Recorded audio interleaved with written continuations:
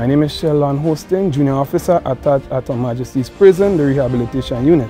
I became part of the Imani program in 2013 and confirmed in 2017 as an officer.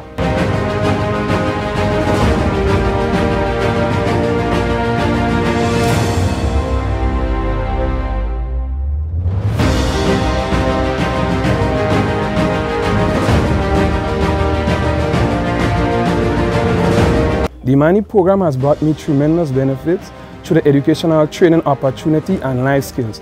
I'm urging all young people to be part of the Imani program in, for future success and development.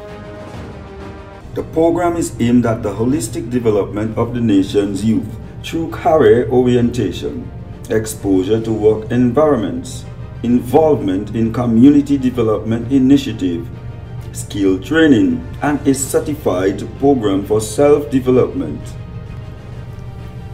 For more information, contact the Imani Secretariat, Grenada Youth Center, telephone numbers 439-9923 or 439-9943.